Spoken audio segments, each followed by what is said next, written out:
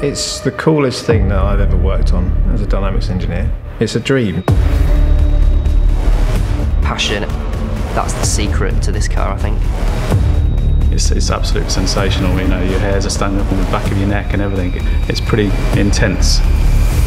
It's properly awesome.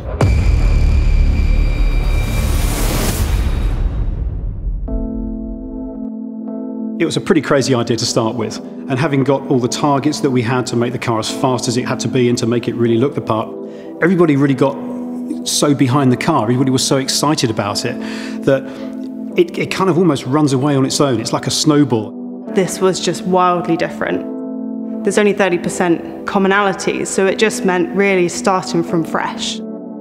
It was a challenge trying to kind of maintain what an XE is. Um, short of the, um, the front door, the roof, the front glass, we changed every panel. Usually when we design cars, um, we're usually fighting engineering tooth and nail to kind of push the wheels out another 5 mil, 10 mil. Everything we could have wanted on the car, they gave us at the start of the project, so um, it was a real pleasure to work on, a real, real pleasure. There was no limit with this program, which is very rare these days to be able to do that. The chassis underneath it is the stuff that we all dream of. It's got all of the ingredients that you would want. If you had a wish list and you sat down and said, I need this, this, and this, it has all of that. It's got the motorsport spring rates, it's got ceramic wheel bearings, it's got almost solid engine mounts, it's got rose jointed top mounts, it's got solid subframe bushes. The list is endless, really. In the pursuit of ultimate performance, even in design, we're kind of thinking along an engineer's line, like, can we save weight here, can we save weight there? But you still have to make a car beautiful. So we had to be really sharp to make sure we delivered all of the exciting styling and all of the engineering performance because at the end of the day we still had to have the fast car. You'd expect manufacturers to take their cars to proving grounds around the world. With Project 8, we've gone one step further. We've taken the car to racetracks around the world. We wanted a focused, fast, balanced car that could deliver lap times. We drive the cars on mountain roads, we drove on cold passes in all conditions to get the car to be balanced everywhere. It had to be the fastest run on track, it had to be the most engaging from a customer point of view.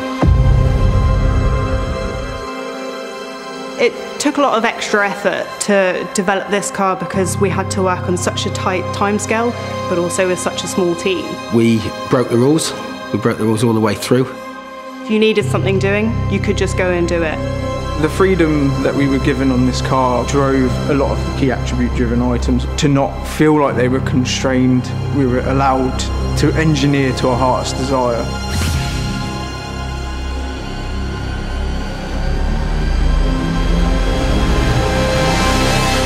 I describe it as the, the longest, fastest roller coaster that you've ever been on. Just the, the hardest proving ground in the world.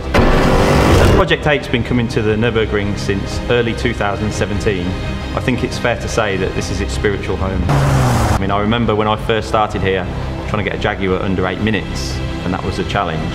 And now here we are today, well below 730.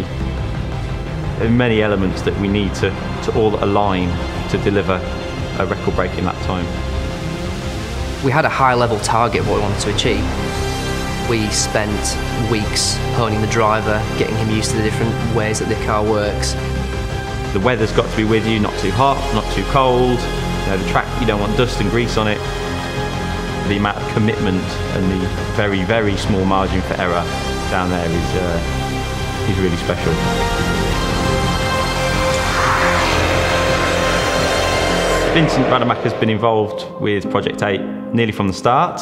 He's very calm, quiet out the car, gives his feedback, um, and then you put him in it. And he's just, yeah, amazing.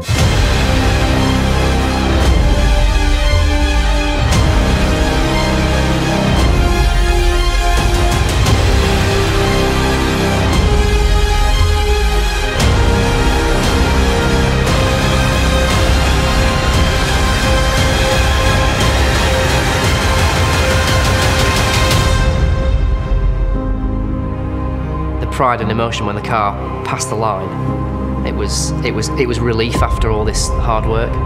To take our own record off ourselves really, really validates that we made a fantastic car. The track record, when that came in, looking at the video, watching it with the whole team there, the round of applause afterwards, the adrenaline, I could feel it now. what we've achieved at Nürburgring is brilliant. It's basically a real showcase of what SVO are capable of. It will always have a special place in my heart because every time I see one, it just makes me smile. In, in this day and age where we're kind of leaning towards more electrification, this is probably the only chance you're ever going to get in your career to work on something like this. We started off as a team and we turned into a family, and without that, we couldn't have delivered Project 8. So I look forward to showing what we do next. There's some good things to come.